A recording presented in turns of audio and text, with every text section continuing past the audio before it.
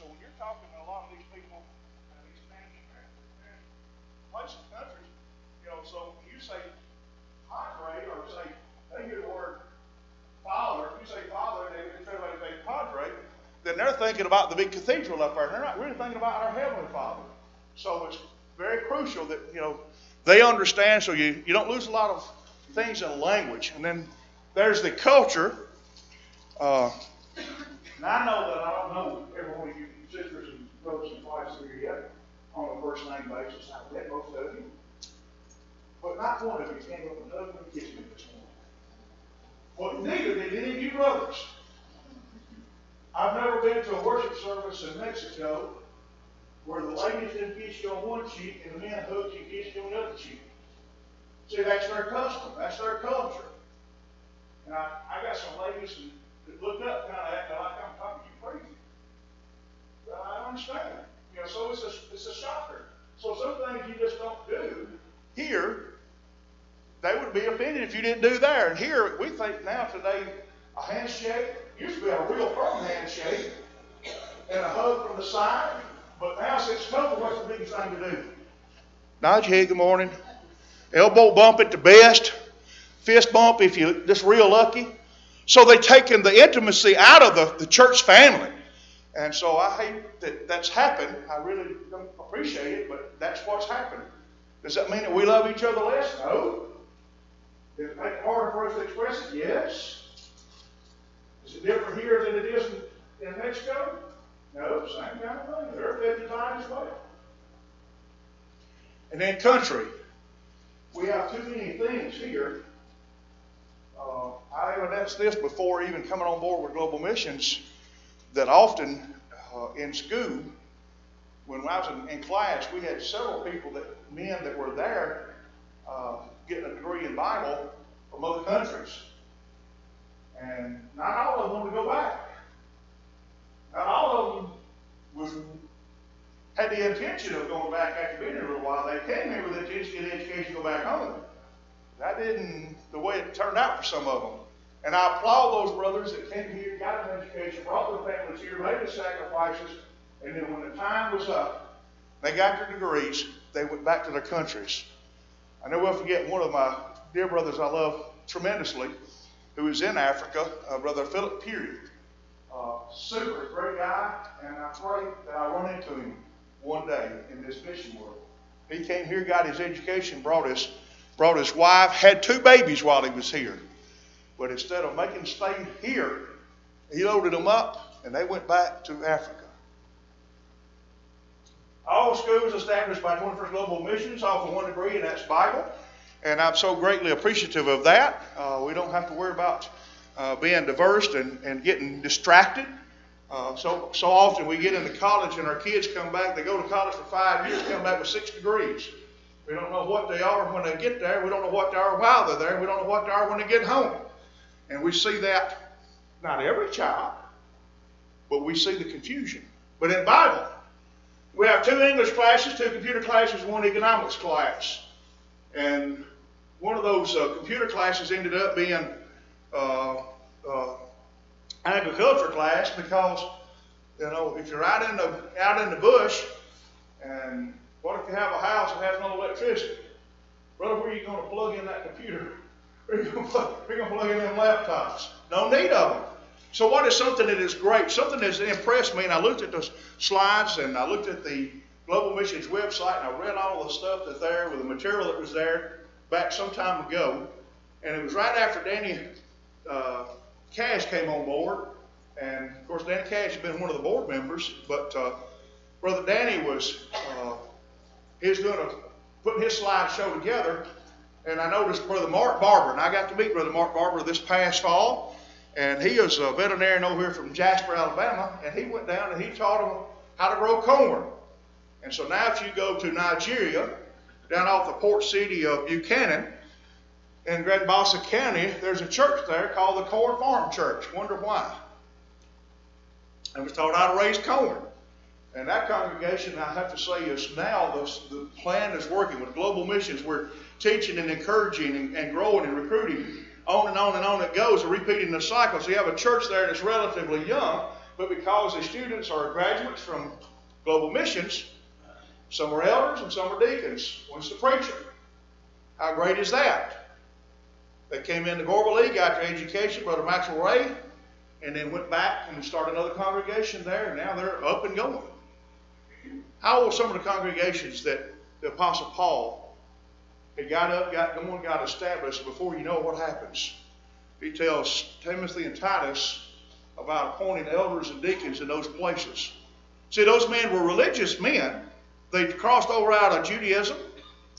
Now they are now Christians. Some of them are Gentiles, but they got an education quick. So when they saw that they were meeting that standard, the criteria, they were appointed as elders. Takes a special kind of person, doesn't it? Global Mission does not use any collected funds to compensate a student for attending classes, and that's what I love most. I've been in church planting. It takes a lot of money to, to church plant. A lot of money invested in a preacher. And sad to say, some of those preachers will let you down in those other countries because they're dependent upon the American dollar. They're not as frugal sometimes. They're human. They mess up too. But what I notice about this, when you're educating these students and you don't pay them to come to class, you see the level of sincerity and devotion and commitment. So you're not paying someone, that makes a great deal. If we were paying someone to come to class, you say here, Fulton's got a lot of money in it. You can, I'm, I'm talking about the church here. I'm talking about Fulton, the city of Fulton. Lots of industry, lots of money, lots of jobs, money to be had. You go to some of these places where there are no jobs. You got a place that comes in there and they can come in and they can fill the room and know that if they come there, all they got to do is come every Saturday and they get fifteen to twenty dollars. Well, if you ain't seen the fifteen to twenty dollars in the last six months, how enticing would that be? So I want you to see and understand the importance of not paying preachers. What they have to get out here and work and earn, and see the level of devotion to that to that class, and ultimately to the Lord.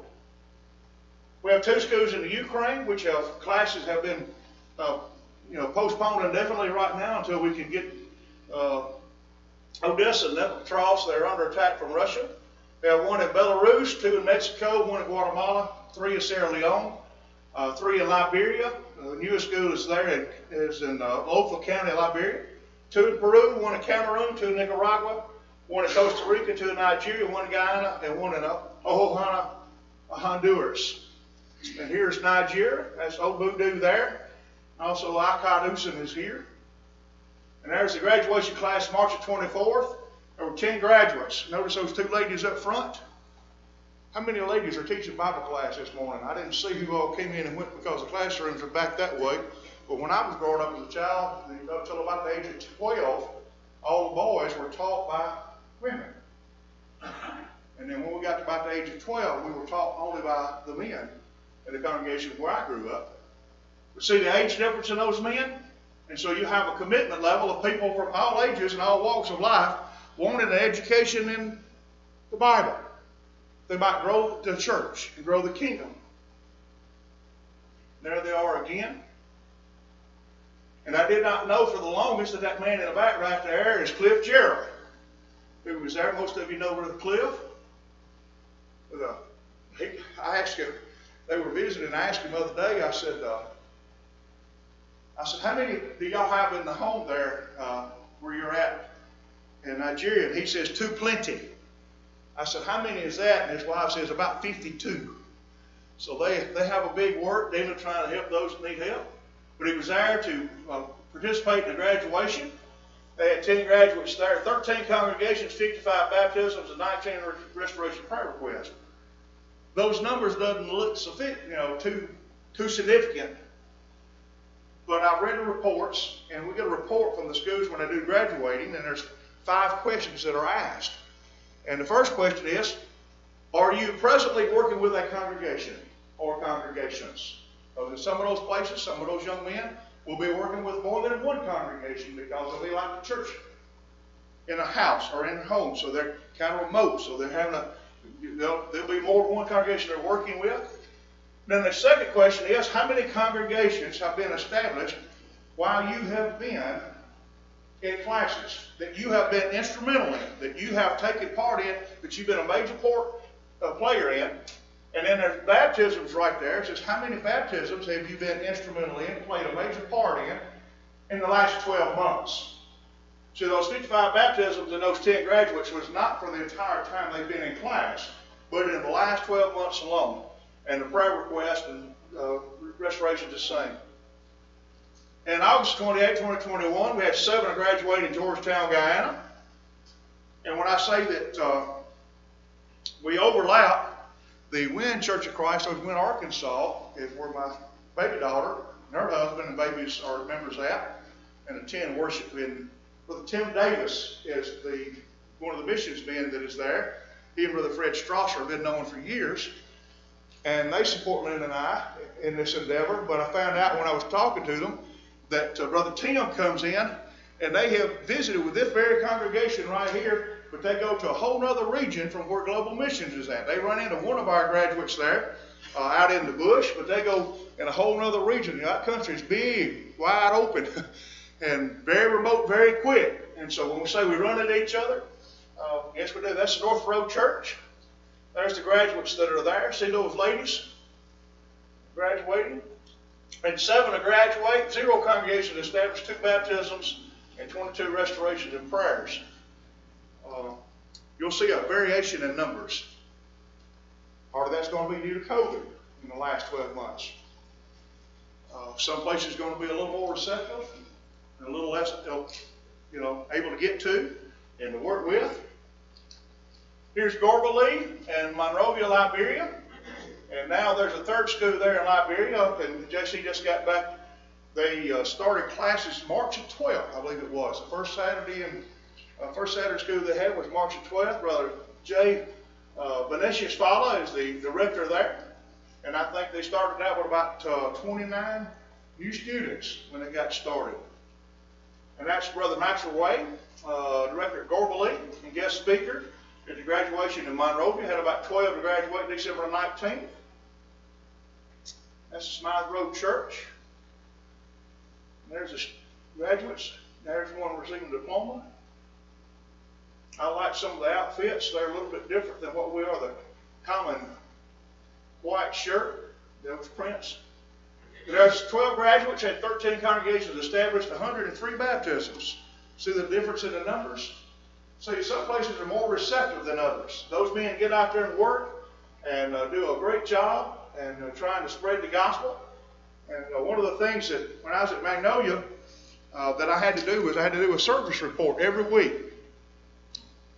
As I was training as a deacon at Ashland, I started classes, but part of the Bible school was, as a student, means you're taking a, you get a degree in Bible, this is one of the requirements. You had to fill out how many prayer requests you was, had been involved in, or how many people you prayed for, prayed with, how many Bible studies, how many visions you had made, how many worship services had you been in and been involved in, or area gospel meetings. Everything that you had been involved in with ministry, you had to keep a tab of that. Okay? And so when we're keeping tab of that, it helps them to get an idea of what's going on. Well, some of those young men would come in there with almost zero in numbers of things there, while others would have a huge number of things that they were involved in and then while others kind of in the, in the middle range. So things vary. Those numbers vary depending on the area. But look at those numbers of baptisms in the last 12 months. And there's uh, Brother Adam Sayway, former graduate and a guest speaker there at Gorbalee in J- January. And because of COVID, this graduation was delayed. But we had eight to graduate there. And there's part of the graduates. There are again had eight graduates, 32 congregations established, 824 baptisms. Phenomenal. See, when I started out in January of this year, January, February, March, and April, uh, that number of total graduate, I mean, total baptisms for the year, for the year was only about 267. And Jay and I and and and uh, Steve was sitting in the office and we talked about it, and a couple of board members, uh, just you know, that's the COVID must have had a huge impact upon on it, and you know, this hadn't seen a number this low since 2016. Because we're looking at all the records and all the numbers, keeping track of everything, tracking what's going on. And so we're looking at those numbers, and then all of a sudden, the next few days, we get in this report from Gorbley, from Maxwell. And I was stunned. As I looked at those reports and I was looking at those young men that was there, and several of those young men, three or four of them, five maybe, had baptized around 100 to 120 persons each. So where they were working was a field white unto harvest. So they had just had their graduation was a little bit late, January the 23rd, but it was actually 2021 when all that had happened. Had taken place in 2021, but they couldn't get to graduation until uh, January because of COVID. But look at that number there. Here is uh, our Peru We have two schools there, one in Lima and one in Trujillo, uh, Peru. Had four and ten graduates. There's Brother Rodolfo Casas, elder at the church and teacher at the school. Uh, he speaks for the graduation there in Lima. And there's the graduates. And that's Brother Thomas Barrio, uh, director. And there's the graduates there with Brother Rudolph Casas uh, as a teacher. And isn't wonderful that we can have the elders involved in the area of congregation that is already established, and we work out of that congregation and to go out to the uttermost parts of the, of the world and recruit uh, students to come in, and then the elder be one of the teachers. Uh, when I was uh, growing up, the elders, all the men teachers were elders.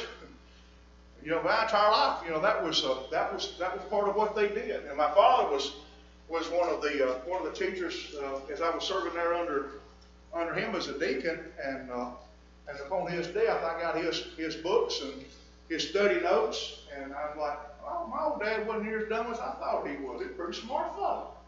He studied learned the truth. So my dad was born and raised holiness.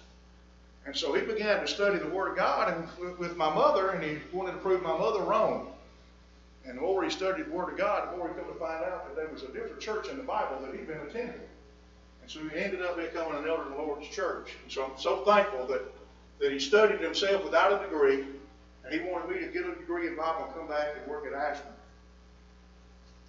I want you to look at the, the floor and the chairs. I'm more impressed at the churches there, the simplicity.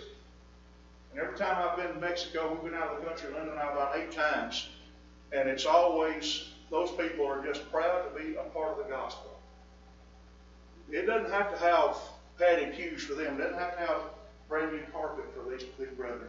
They're just, they just want to hear the gospel. And there's Brother Bill or Leon, uh, the teacher of the school there, uh, leads the graduation ceremony.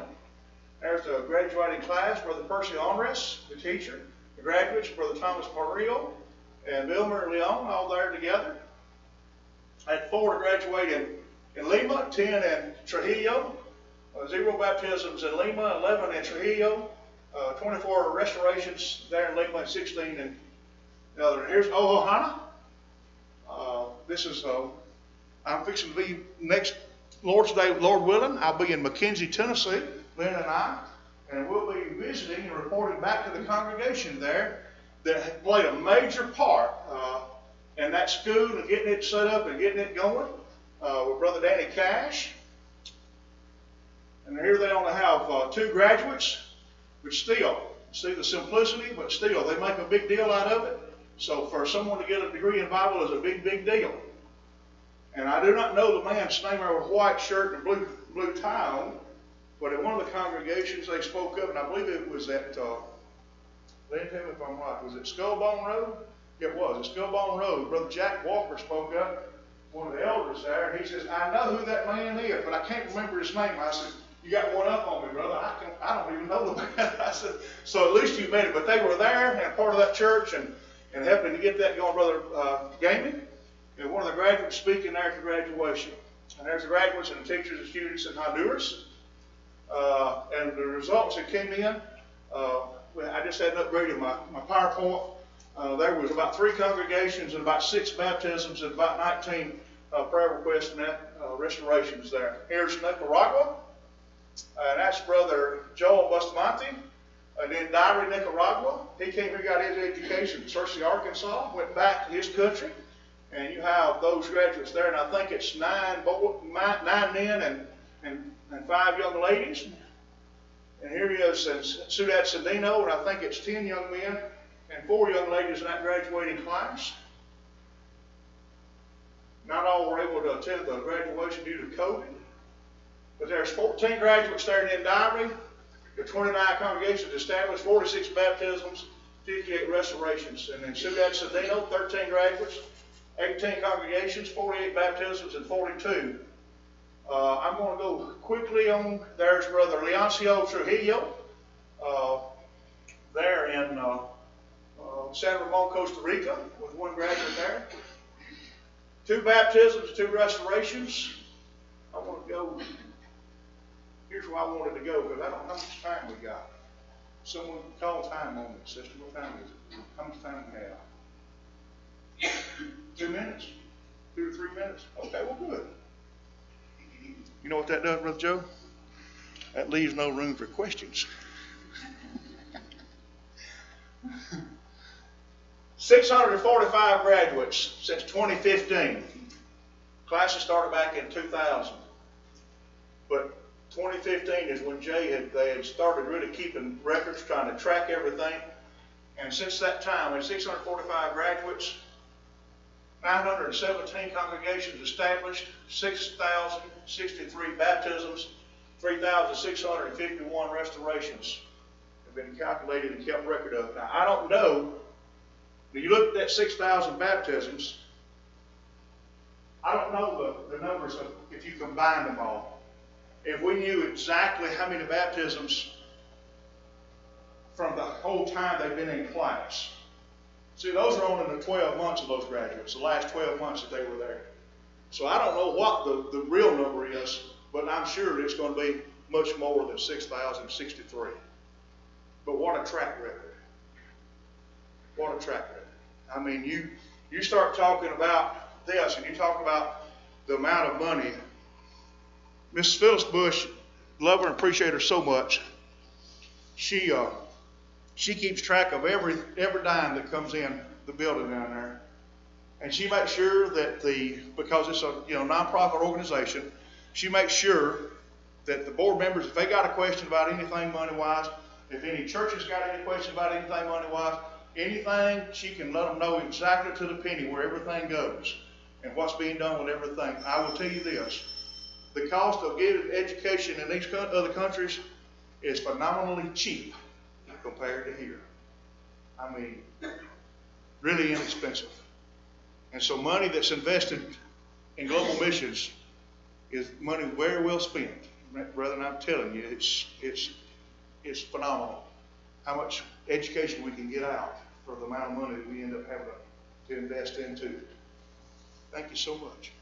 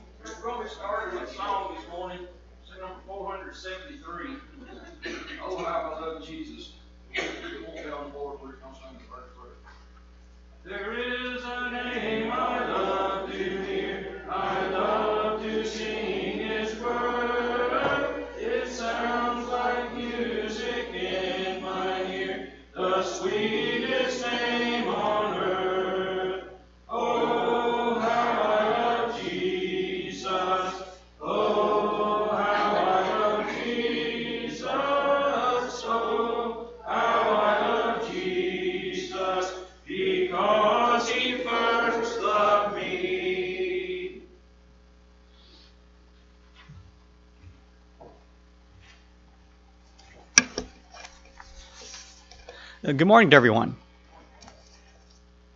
We're very glad that uh, all of you could come today, especially uh, for our visitors. Uh, we have Miss Betty Creighton here from uh, La Vergne, Tennessee, and she attends the uh, Sand Hill Church of Christ. She'll be returning to Tennessee this afternoon, and we pray for her safe return. And we're very glad that any that, that we have a large number of people who are visiting with us, and uh, we have also our regular congregation visit uh, who are yeah, attending. Matthew uh, is uh, preaching at the Selligent uh, homecoming today, and Don Robertson from 21st Global Missions is uh, preaching in his position today. We offer our sympathies to the family of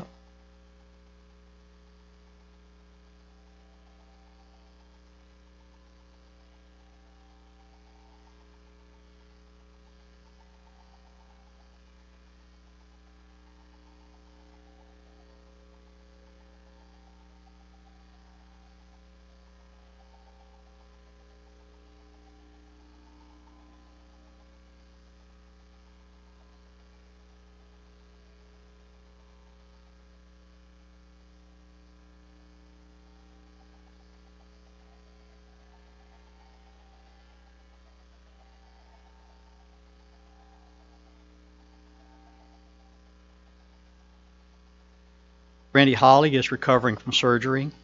Arena Osborne is dealing with uh, her cancer diagnosis. Jim Clark is recovering from heart surgery. Margaret Wade is recovering from heart surgery. And Margaret's here with us today, and we're very glad that she is. Sophie Grubbs is, is dealing with health difficulties, and Sophie, Sophie is with us today. Arlene Gray is having difficulties. Uh, Ricky Howell, Hallie Hattie Miller's son is having health difficulties. Linda Butler, Rodney, Rodney Kent's grandmother, is ongoing therapy. Uh, Dixie Murphy has, is dealing with uh, treating cancer. Doris Delaney has cancer. In our services this morning, Jim Chandler will lead our singing. Uh, Rodney Kent will read our scripture. Mackie Wade will word our opening prayer. Don Robertson will deliver the message. Uh, Richard Comer will preside over the Lord's Supper, and Andy Coker will provide for our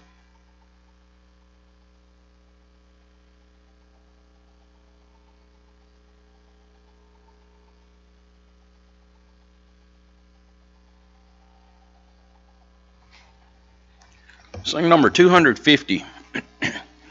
250. How sweet, how heavenly. And we'll sing verses 1, 2, and 5.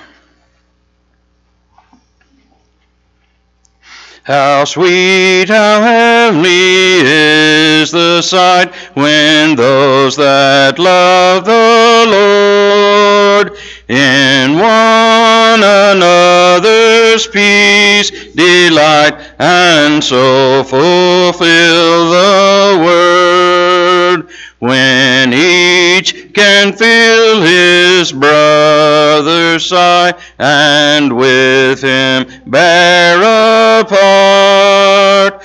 When sorrow flows from eye to eye and joy from heart to heart, Love is the golden chain that binds the happy souls above.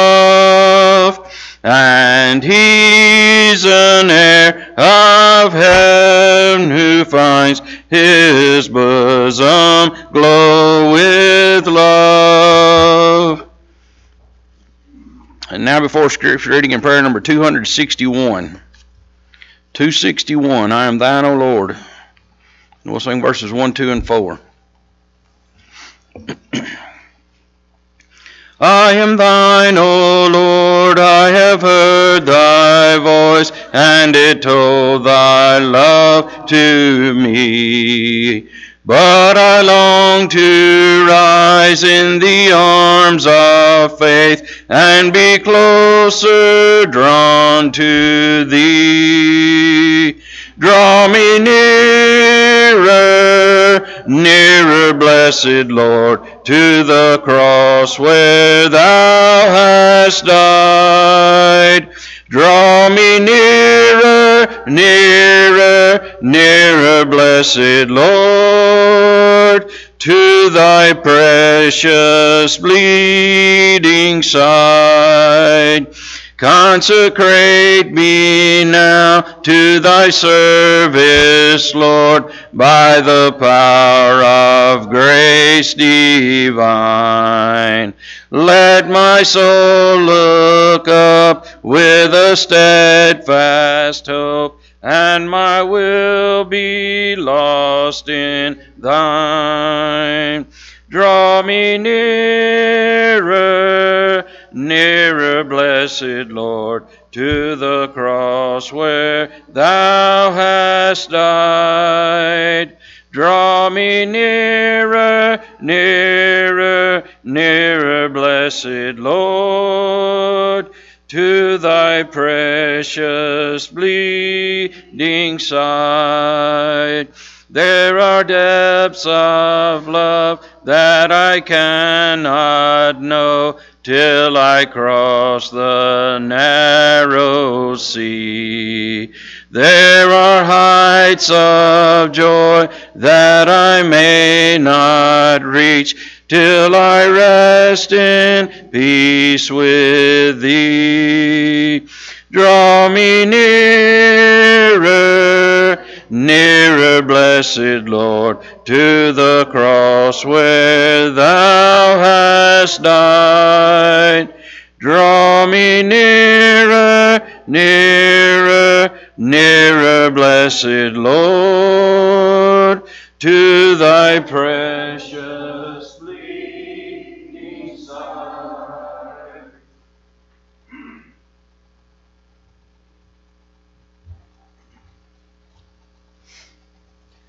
Scripture reading this morning will come from Psalms chapter 25, verses 20 through 22. Psalms 25, verses 20 through 22. Keep my soul and deliver me. Let me not be ashamed, for I put my trust in you. Let integrity and uprightness preserve me, for I wait for you.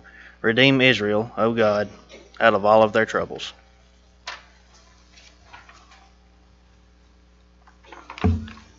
Let us pray together.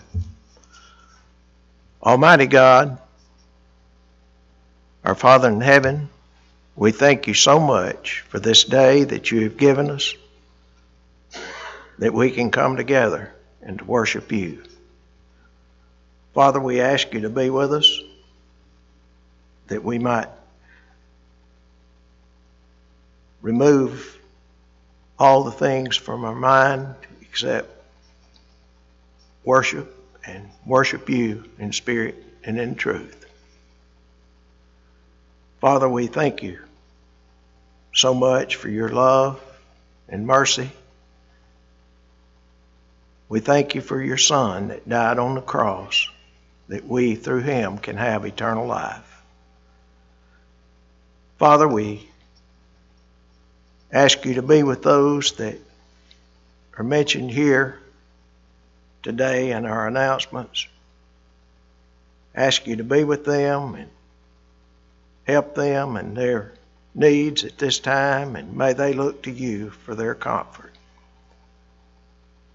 Father, we ask you to be with those traveling. Ask you to help them to have safe travel. We ask you to be with the Mayola Wilson family comfort and strengthen them and be with them as only you can. Father, we thank you for this congregation. It meets here and each member that we have the opportunity to worship here and to work together and we ask your blessings on us as we go forward in the days ahead, that we can live faithful lives in service to you. Father, we ask you to be with Brother Don as he comes and speaks to us today and help him that he can say the things that will encourage us and help us to take those things and live better lives in service to you.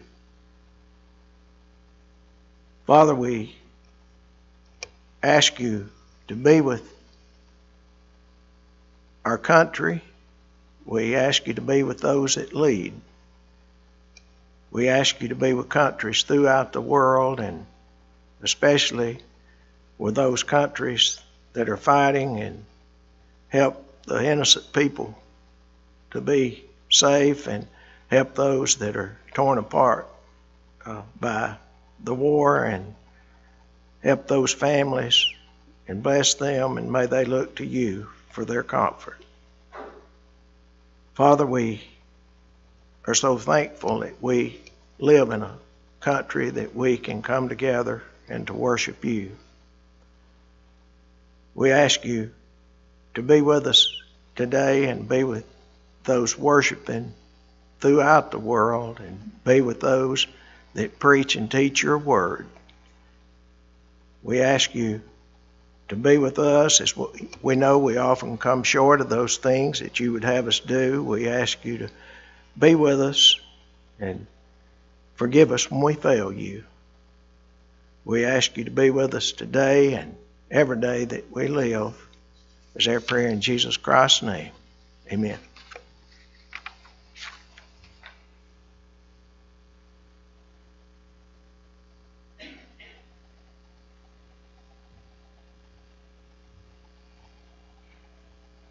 Our invitation song this morning will be number 337. 337, Is Thy Heart Right with God? And we'll sing all three verses. And now before lesson number 231. 231, Hilltops of Glory. We'll sing all three verses. Shall we stand as we sing?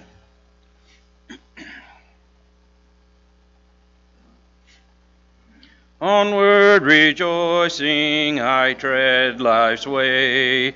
Higher I'm climbing each passing day.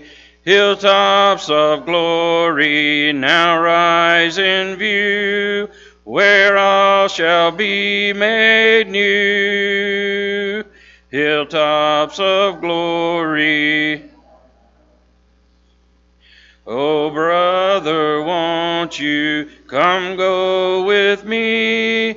Safe on the mountain I soon shall stand, hilltops of glory land.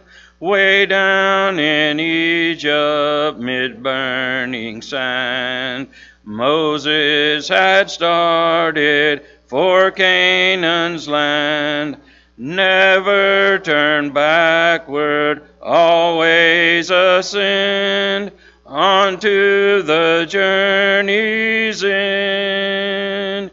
Hilltops of glory.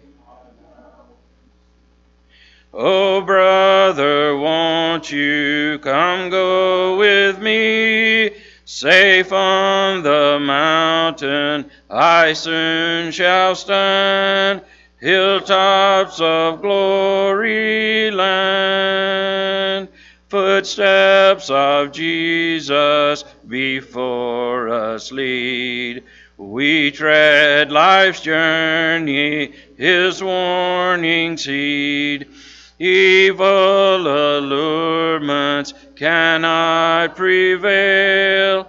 I'm on the upward trail hilltops of glory. Oh, brother, won't you come go with me? Safe on the mountain I soon shall stand, hilltops of glory.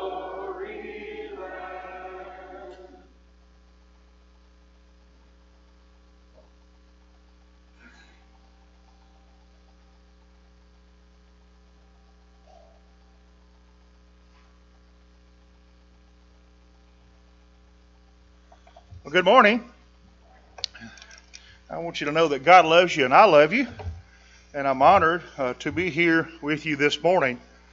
I uh, I normally would put on a mic and and maneuver around and that kind of stuff, but I'm going to stay with the podium today and uh, try to make sure that everybody can hear me.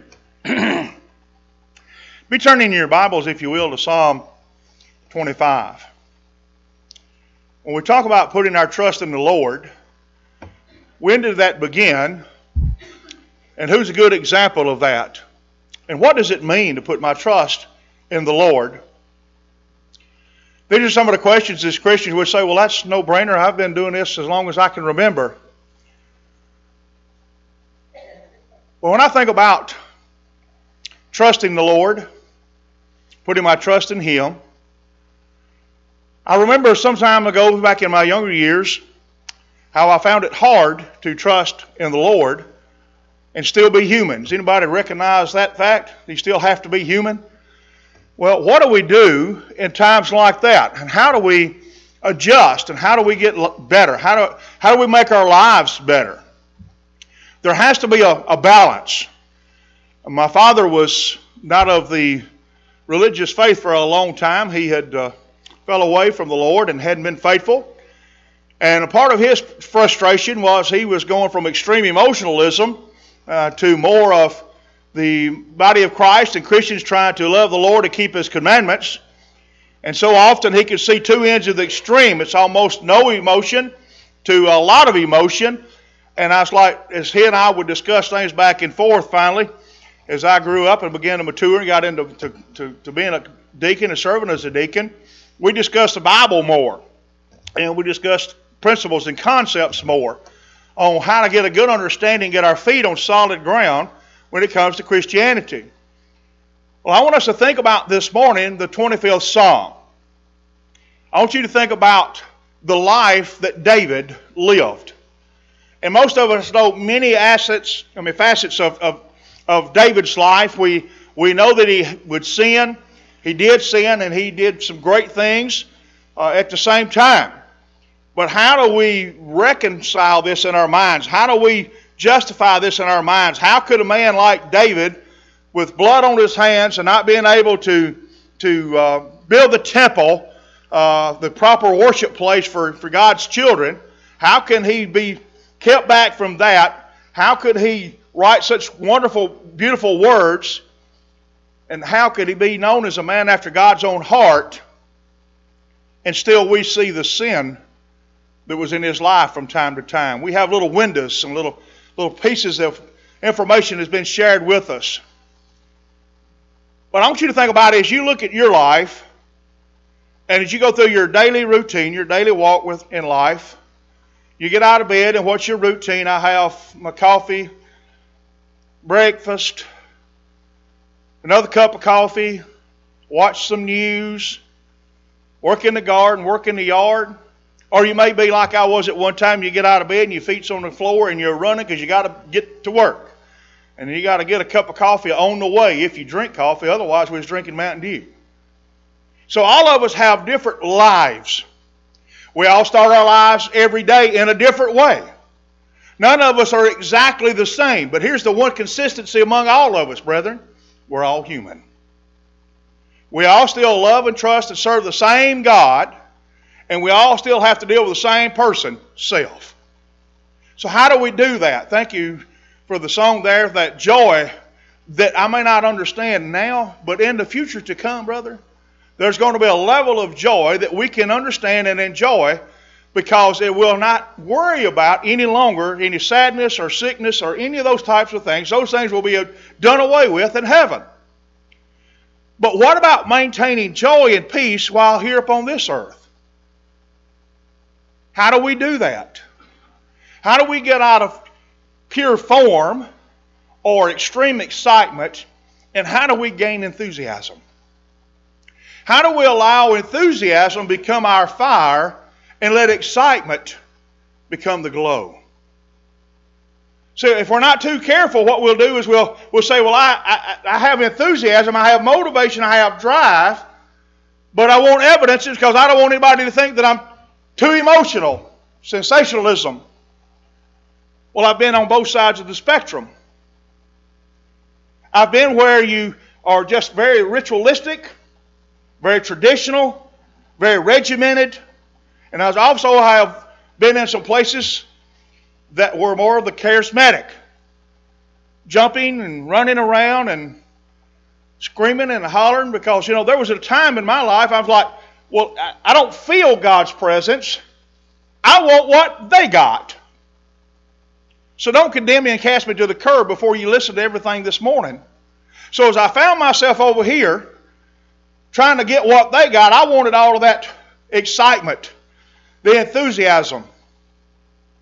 And what I could find after about two months, brethren, was this that yes, they were having that, but it was a routine. See, they had fallen victim to the same thing that the Galatian church had done. So they were trying; these these people are trying to incorporate what God has said do to have enthusiasm.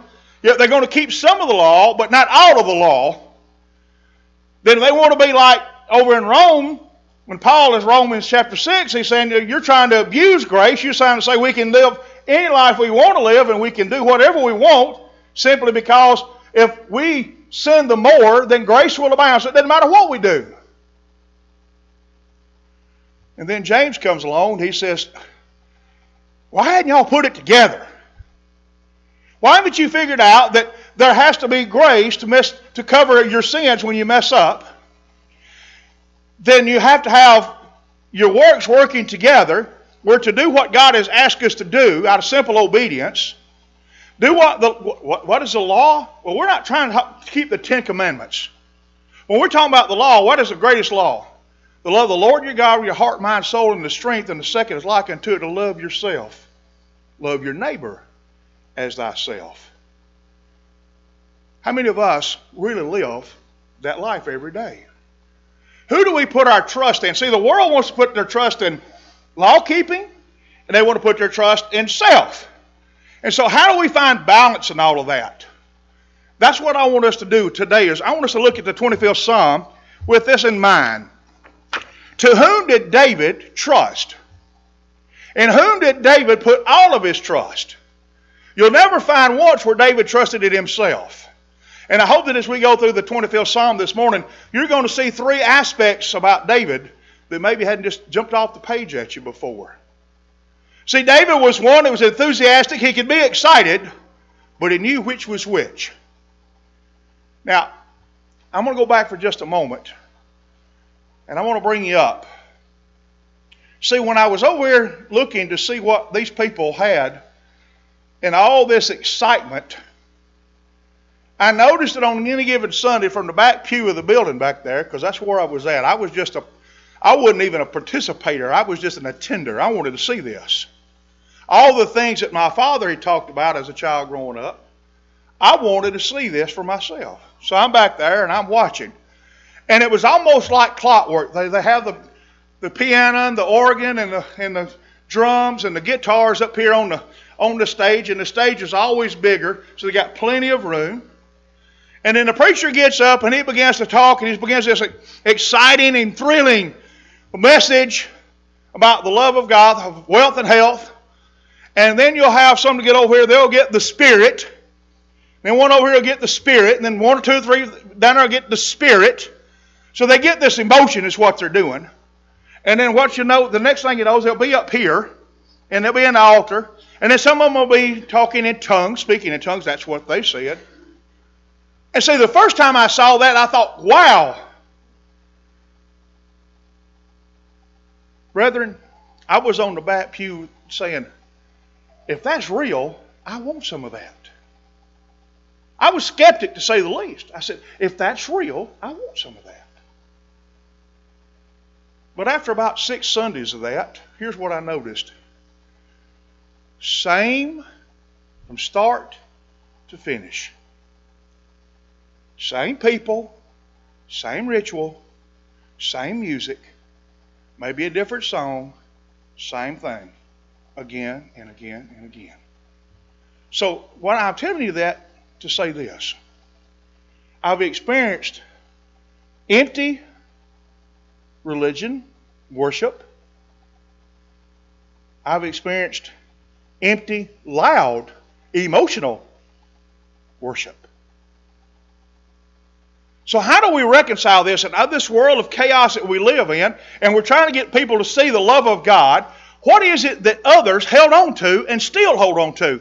Can they have the Father, the Son, and Holy Spirit? Absolutely. It's what the Bible promises. But how is that possible? Let's look this morning. And let's look at the psalmist as he says, you know, there's a, a, a lot to say about David. We know that he has confidence in God. We know that he's, he's enamored with all the things that's going on around him. He says, I am never in need, if you read the 23rd Psalm. He says, basically, he mentions green pastures. He says, you know, even though I walk through the valley of the shadow of death, I'll fear no evil. Thy rod and thy comfort, they, you know, your staff, they comfort me. So David, he says, I can see the tranquility that is in God. I can see the promises that he's made, and I can see him keeping his word. So how does that become evident in my life? His faith in God enabled him to overcome obstacles that would probably derail most of us for life. Remember, he faced a lion, a bear, a giant, and worst of all, he faced himself. But in the middle of that, he also had to face a mentally unstable king, King Saul. And then he ended up having open rebellion in his own family, his own son. So when faced with these setbacks and difficulties, our reactions reveal if we're people of optimism or pessimistic. Remember these four things. Super great graduation speech by brother, I'm not going to say brother, by Matthew McConaughey. They give it a, a graduating class. And I picked up on about four of those things and I worked on them. And I said, you know, he said something and he said a mouthful to the graduating class, something that really the church needs to hear. Number one, life is not easy. And don't forget it. Number two, nothing we do is unbelievable, and it never is. And number three, don't live in regret. Create moments with great outcomes. And one of the things that I have to add to that, and I want, I want people to understand as a, as a Christian, as much as lieth in you, be at peace with all men. Rather, the church would be in such greater places today, Christianity would be of such greater astronomical in number if we would just learn to live at peace with all men, especially the household of faith. We try to get along in the workplace. We try to get along in our homes. Why can't we get along when we worship? See, we need to work on this one concept as a Christian. There's one thing, if you'll observe David and Abraham and others, they learned the art of dying to self slowly and painfully. And unless we learn to do the very same thing and recreate what David and, and Abraham and others have done, I need to learn to put more of God and less of me. Wonderful song that is in our hymn. When we started out at first, all of self and none of thee, then at last I learned it's all of thee and none of self. And that's what it means to be a real Christian.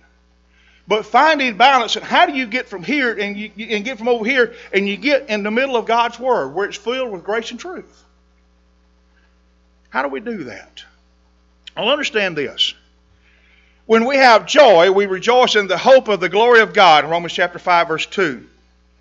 We put our trust in Him, and our happiness then may change, but our joy is constant. You can't chase happiness. Joy is always in process, it is a constant in the doing. Never forget it. Joy is independent of outward circumstances. Our situation may change, our circumstances may change, but our joy is constant. Hope is based on our desire with great expectation. Paul said in Romans chapter 8, verse 24, he says, For we are saved by hope, but hope that is seen is not hope. For what is man seeth, why doth he yet hope for? But if we hope for that which we see not, then do we with patience wait for it? Obviously, yes. Pay close attention. When we talk about having the fruits of the Spirit, Galatians chapter 5, love, joy, and peace. If you notice, there's about nine of those characteristics that are there, but it's only produced as a single. When you talk about the fruit of the Spirit, it doesn't say fruits, and often we refer to them as graces or virtues, but it's fruit of the Spirit. I want you to think of that in this manner love. That's agape love. That is the, the better for others. That's the love that Christ had for us. That joy is the constant, it's a constant delight.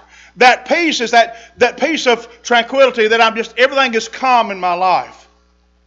When I think about the, the bird, it, it builds its nest. And when he has that nest and he's out over limb, just imagine in your mind, you want to talk about perfect peace? Just imagine now that that bird has built that nest on that limb. It's right on the huge drop off of the Niagara Falls. And all of the rustling and rumbling and roaring sounds of all of that water, yet that bird is in its nest completely unbothered. She's nursing her babies.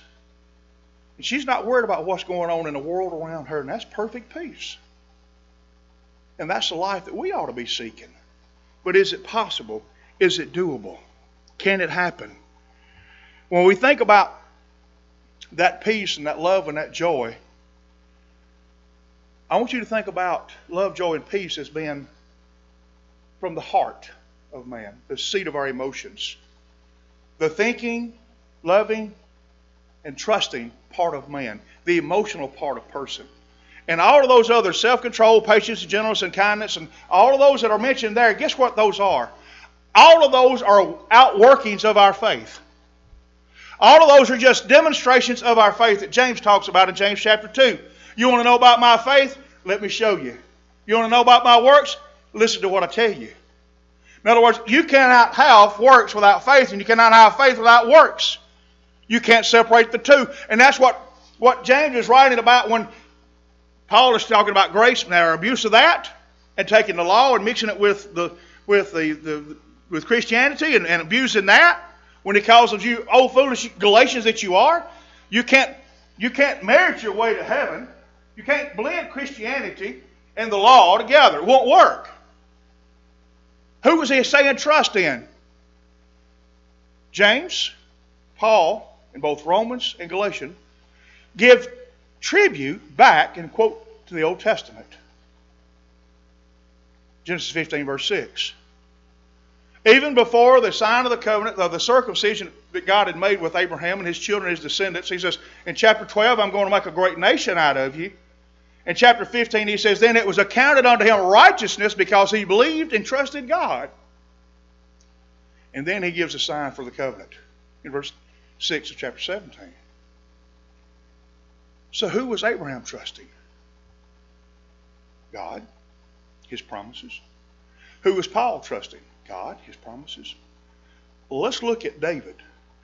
You have Abraham 430 years before the law was given. Then you have David 400 years after the law is given. And God's servants are not putting any faith and trust in, in, in the keeping of the law. Will they do that? Will they say, yes, we need to be doing those things? Yes, we need to be faithful to God? Absolutely. But who were they trusted in all along? Look, if you will, in verse 1 of the 25th Psalm. David is writing, and it's, it's a, it's, you have to know the Hebrew to get the understanding of who he's talking to and what he's saying. And this just comes from a little bit deeper study. Because I didn't know this for myself for a long time. He says, To you, O Lord, and that name there is Yahweh, self existing one, eternal one. He says, To you, O Lord, I lift up my soul. In the 24th Psalm, it declared that God does not want to be worshiped by something, someone who lifts up falsehood that is emptiness and meaningless as vain. No idols. He doesn't want any of those things. Don't blend your idol worship with me. There's just this one. I'm just the one God. Rather, David lifts up his mind, his innermost feelings, and his desires to God. He's basically saying that God has been, is, and will be the center of his life. Now look in verse 2 of Psalm 25. He says, Oh my God. He starts out with, To you, O Lord. Then he says, Oh my God. Now, if you want to stop for just a second and think about that, that word there for God is Elohim. El in the Hebrew is for God. Elohim is the plural of that. Now, if you go back to Genesis chapter 1, we think that in the beginning God created. And when it starts out, it talks about the Lord. In chapter 2, about verse 4, he comes back and says, The Lord God. So even Moses understood that there's God the Father, God the Son, the Spirit. They got it. They were putting it together. They were listening. They were in tune with God. So when we have the word Lord, that is the Master Eternal One Yahweh, and I have now God, so David is trusting in the promises that have been made all the way back to Adam and Eve. Remember Genesis chapter 3, verse 15? He says that I'm going to separate proto evangelical. In other words, first type of Christ, the first reference we think of. Big fancy word I didn't know till I got to college. Really not important. Well, we think about the promise that has been made right there in Genesis 3:15. I'm going to bring death. I'm going to kill Satan's power. Death will no longer reign, but Jesus is going to die in the process. And that's how it ends up in the garden. Gethsemane, then on the cross. So who is he trusting in? Here's the significance. He says, Oh my God, in you I trust. Do not let me be ashamed. Do not let my enemies exult over me.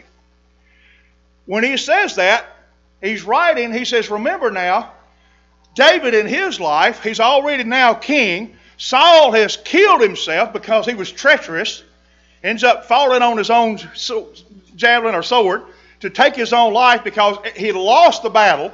But he had been pursuing David all of this time. And at one time, Saul is inside this cave, and David comes up, and he's in already in the cave in the back parts of it, and he slips up and he cuts off the hem of his garment. And when Saul goes back down, he's there with this man, and David comes out and he says, But I could have killed you. You ever thought about why he didn't? See, David had such reverence for God and such respect for the God that he served and had been learning about and knowing about for all of these years, and everything had been handed down to him, and he had been taught all of his life. He respected God's anointed. He respected God's anointed. And he says, I know, God, what I have learned is this. He says that if we'll live right and do right, then you will bless us. And then if we don't, if it seems like it's your children are failing and, and those that are coming against us and try, like the Babylonians, the Syrians, whoever it may be, is they're coming and attacking us and we lose the battles, it's a reflection upon you that we hadn't been serving you. That there's something wrong. In essence, David says, God, if, if, if I'm not victorious, it makes both of us look bad. Now look with me in verse 3. Indeed, none of those who wait on you will be ashamed. Those who deal treacherously without cause will be ashamed. One who waits on God when he comes to God as a faithful follower as of his will, he prays for a blessing. Then that follower goes on in great anticipation that God will respond according to his will, to his truth and his grace, to his wisdom. So we ought to be pursuing God's ways, trusting God's ways, leaving some things for God to answer in His time and not ours. But be, be sure, be rest assured that David is right in this prayer and he's, he's trusting in God all this time and he wants God's will to be pursued in God's way and God to receive all the glory. Look in verse 4. He says, Make known your ways, O Lord, teach me your paths. I'm reminded of 2 Samuel 12. We know that David, as a human, has messed up with Bathsheba, and he's had an illegitimate child, and along the way, and in the process, he's had Uriah killed. So Nathan the prophet comes to him and he says, There was a man who had a lamb, and there was another man had thousands of lambs. And this man just was not content with all that he had, so he went over and he got this one. David, reckon what we ought to do with him, King? David says, Off with his head. And what does Nathan the prophet say? Thou art the man. See, wouldn't it be great in our lives if we could ask God to teach us and to remind us of His ways and we could stay straight on it? It would be great and it'd be wonderful. Most of you have on your modern vehicle. Have any of you discovered this little switch on there, little button on there? It's called lane control. Show of hands. Anybody know what I'm talking about? Got a vehicle? Well, if you hadn't found it yet, you might find it. But as you're going down the road, if you don't know and you're aware of it, and you're going down the interstate, and you know you can pass anytime, as long as there's not somebody beside you. But brother, when you go to do this, and the car goes, you go to do this, and instead of trying to pull you back. So Lynn didn't know what it was. I didn't know what it was. So they called her baby daughter, who we got the car from, and she says it's lane control. In other words, it keeps you between the lines. It won't let you get out of track. If it does, you'll feel it jerk. She says, here's how you cut it off. Brother, wouldn't it be great and wouldn't it be wonderful, Brother Jim, if I could just walk up and touch you on the shoulder, have lane control, and you'd never sin again? Never get out of your lane, never do anything wrong. Be wonderful, wouldn't it? Well, we have to learn those, excuse me, we have to learn those things from God. David is learning his lane. He's learning how to get back in his lane. Because in Psalm 51, he repents. You know, the thing that stands out most to me there is I want to put these juxtaposition to one another. For David to begin writing at this level, we know he has a sense of presence. He has a sense of presence. But then what happens when he begins to write the 51st Psalm and the 32nd Psalm? He feels an absence of presence. See, he knows that God is not pleased with his actions. And brethren, that's what we need today more than anything is we need a sense of presence. We need to have a sense of God's presence with us and that what we're doing is right and acceptable to him. Amen. Is that not what is something that we pray each and every Lord's day when we come together as brothers and sisters in Christ? Lord, let our actions be acceptable to you. Let our worship be praised to you. And nothing less, nothing more. David says, I will acknowledge you in all of my in, in all of my ways. In verse 6, he says, Remember, O Lord, your compassion and your loving kindness, for they have been from old.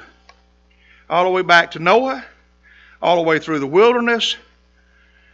David knows from everything he's learned that God only saved eight souls at the flood.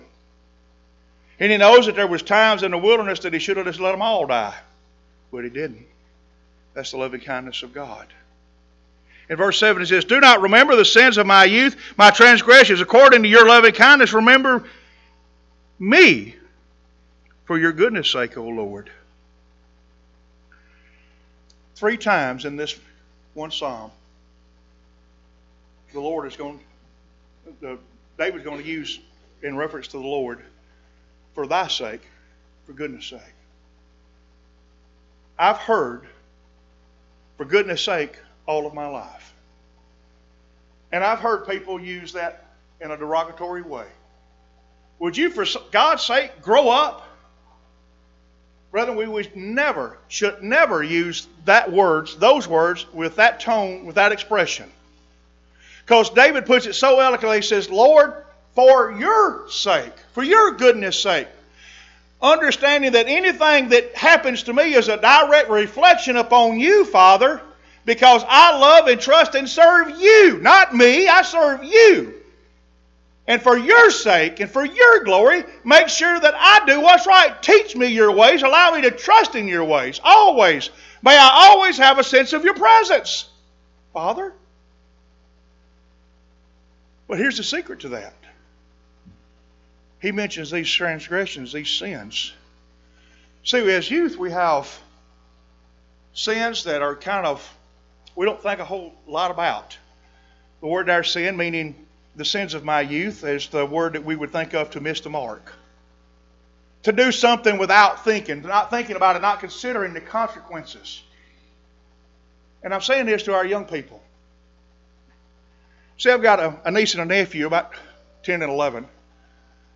And that young man can come up and he can say one of the most beautiful prayers you've ever heard in your life, and he's just 11 and has been for the last two or three years. But I have seen that young man, he's never obeyed the gospel, but I've seen that young man get upset with his sister and walk over and clobber her. I mean, right back and hit her. But guess what? When she don't take it sitting down, she might get it sitting down, but she getting up, and she gonna repay the favor. And then you have to get between them because they're big kids. They about this tall. See how how innocent they are, and how not understanding that, that you know they haven't got the full concept that that this is not doing unto others the way you want to be treated and doing unto them. You want them to do to you. You don't beat one another up. Well, then we graduate from that as, our, as teenagers. We, we get in 10, 12, 13, 14 years of age, and then we start understanding what, what God does not really want and will not accept. And what He doesn't really care for is what David points out our transgressions, and that's open rebellion against Him. I know to do better, I just am not going to do better. David says, Forgive me of all of those for thy sake. David reminds himself and God that this is both for their sakes. Should we never abuse his grace, though? Praising God in verses 8 and following, he says, And upright and good is the Lord, therefore he instructs sinners in the way. He leads the humble in justice, and he teaches the humble his way. And all the paths of the Lord are loving kindness and truth to those who keep his covenant and his testimony.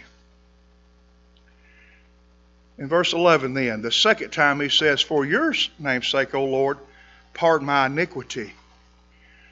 And when you get to the 51st Psalm, here are the words iniquity. David has come to a place in his life that he says, Lord, you've known me from whence I was before born, and you know me now, and you know that I will mess up.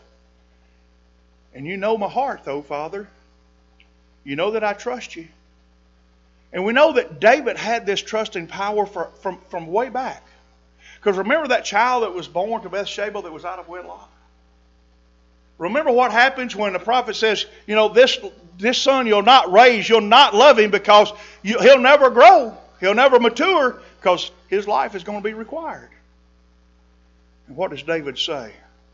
David has so much confidence in God's ability to raise the dead that there's going to be a place for him as well. He says, I cannot see him now, but I will see him there. See, David trusted that there was something greater coming, a greater promised land, and he was going to be a part of it. But as we close, let's think about revering God's way. Who is the man who fears the Lord? He will instruct him in the way he should choose. His soul will abide in prosperity, and his descendants will inherit the land. The secret of the Lord is the most is, is to, for those who fear him, and he will make them known of his covenant. Some of the greatest examples of relationships that we have and we see in the Bible of God is a basically a secret relationship. Because we see, like Enoch, you know, we've often wondered, well, Enoch, he trusted God, he walked with God and was not. Elijah, I mean, there's just so many things that we can see, so many pictures of, of these relationships between man and between God, between God and man, but we don't have the particulars. Brother, we have the same relationship now. We don't have to announce all the particulars of our relationship with God on a day to day basis other than a demonstration of our faith. I trust Him, I serve Him, that He gets the glory. I know He's near. My eyes are continually toward the Lord, for He will pluck my feet out of the net. Here's what's beautiful to know that in the end, as we know the Bible teaches us that we're at war with the devil, and he's like a lion seeking those whom he may devour. We know that we can be saved from all of that. He says, Then turn to me and be gracious to me, for I am lonely and afflicted. Have you ever felt in your spiritual life where you were lonely and afflicted? Very quickly, let's read the last verses together then. He says, The troubles of my heart are enlarged, bring me out of my distresses. He says basically, Lord, help me to forgive myself and these sins that I have committed against you. Lord, help me to look upon my affliction and my trouble and forgive all my sins.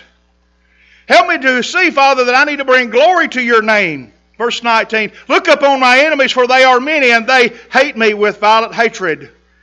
Lord, again, I'm trusting you for the third time. I'm trusting you to deliver me.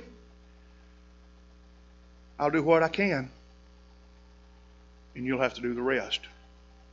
In verse 20 it says, Guard my soul and deliver me. Do not let me be ashamed, for I take refuge in you. Let integrity and uprightness preserve me, for I will, will wait on you. And then I like what he concludes with. David concludes with this. He's been talking about all of his relationship between him and God, the Father and the Son and he's talking about all that has been entailed in that and all the times that he's let the Father down. But at the end of the day, as the king, he's saying, I'm praying for your people. Lord, bless me that we might become a blessing to your children.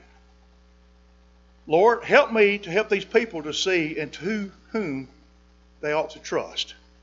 Not me, not in my power, not in the blood on my hands, not in my ability to write or to sing, but my ability to trust you. And that's, brethren, what I want us to do today as we leave here. Teach everyone around us in our communities, our neighbors, and our children, and our grandkids, and our great grandkids, and to whom it is that we trust, not ourselves. But never trusting in ourselves to make it become a law where I think that law keeping is going to get me to heaven. I ain't earned my way to heaven.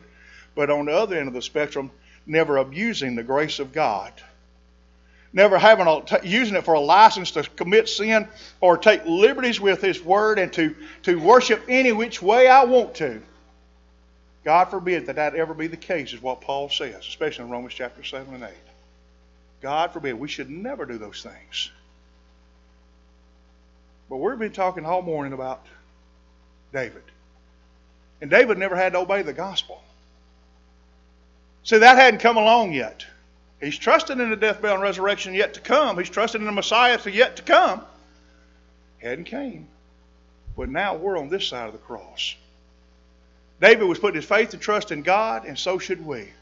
And the Word of God teaches us that if we want to have a home in heaven, that we need to obey the gospel, the death, burial, and resurrection of Jesus Christ. Put Christ on in the watery grave of baptism, our sins will be washed away. We'll be added to the body of Christ. We'll come up and we'll rise up as new creations and walk in newness of life. And as John says, in my little children, when you sin, just remember this if you'll continue to walk in the light of the dear Son, as He is walking in the light of the Father, then you'll have continual cleansing from your unrighteousness. He says you have an advocate with the Father. Says you can go to Him and you can pray and ask God to, to forgive. You can repent. Beautiful word, repent. And you repent of your sins, and God will continue to cleanse you and bless you. That's for those that are Christians. But the last part there is so beautiful in the fact that, that I was a Christian and I've been unfaithful. Do you need your sins and your transgressions, your iniquities remembered no more? Ask God to forgive you as we stand and as we sing. Been nailed to the cross. Is thy heart right with God? Dost thou count all things for Jesus but loss? Is thy heart right with God? Is thy heart right with God? Washed in the crimson flood, cleansed and made holy, humble and lowly, right in the sight of God. Hast thou dominion o'er self and o'er sin? Is thy heart right with God? Over all evil without and within, is thy heart right with God? Is thy heart right with God? Washed in the crimson flood, cleansed and made holy, humble and lowly, right in the sight of God. Are all thy powers under Jesus' control? Is thy heart right with God? Does each moment abide in thy soul? Is thy heart right with God? Is thy heart right with God? Washed in the crimson flood, cleansed and made holy, humble and lowly, right in the sight of God. Be seated, please.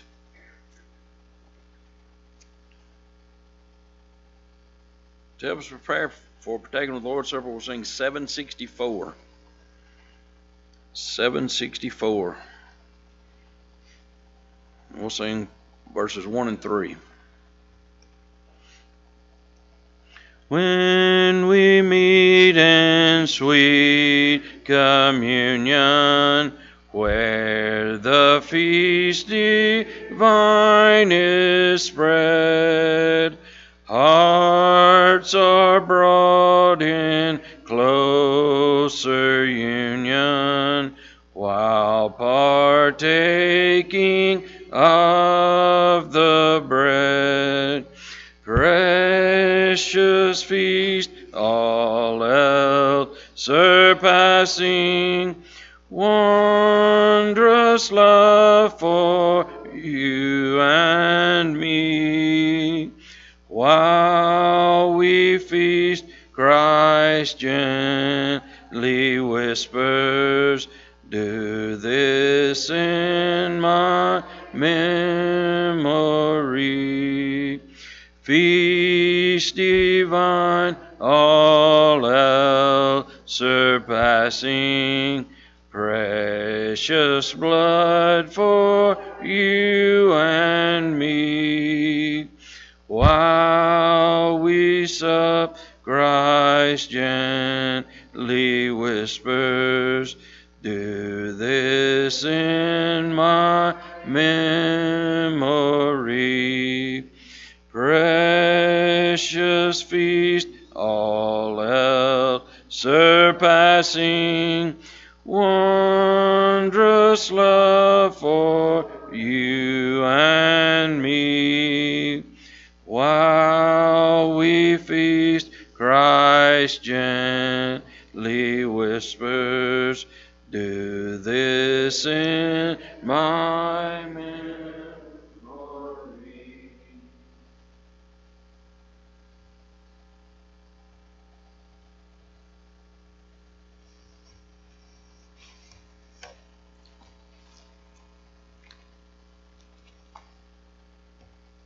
reading from 1 Corinthians chapter 11, verses 23 through 26.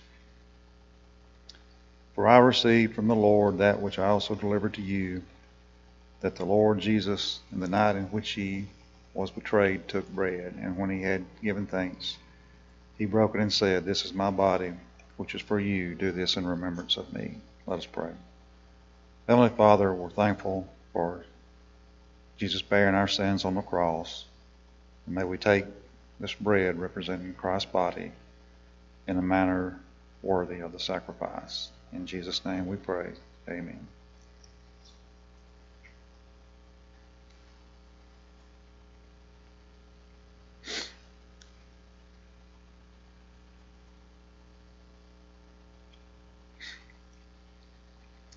Twenty-five and twenty-six. In the same way, he took the cup also after supper, saying, This cup is a new covenant in my blood. Do this as often as you drink it in remembrance of me. For often as you eat this bread and drink the cup, you proclaim the Lord's death until he comes. Heavenly Father, we're thankful for the blood that Christ shed on the cross for us and as Christians continually covers us. And may we take this fruit of the vine which represents that blood, in a manner, again, worthy of the sacrifice Christ made for us. In Jesus' name we pray. Amen.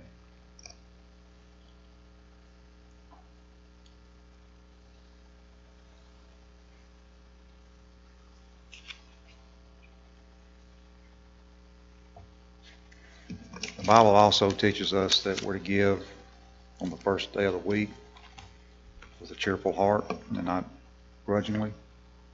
So let us pray.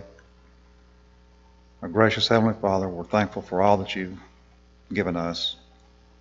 And we pray that we will give back with a cheerful heart and not grudgingly that which is rightfully yours so your work can continue. In Jesus' name we pray. Amen.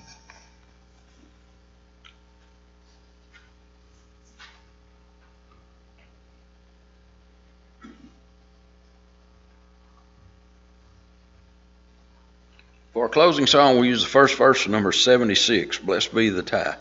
Are there any other announcements? If not, let's stand as we sing, then have our closing prayer. Blessed be the tie that binds our hearts in Christian love, the fellowship of kindred minds is like to that above.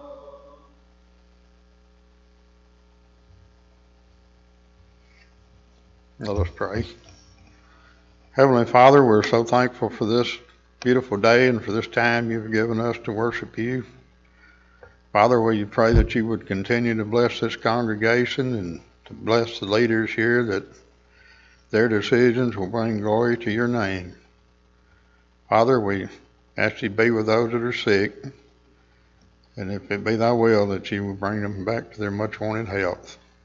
Father, forgive us of our sins and bless and keep us till the next appointed time.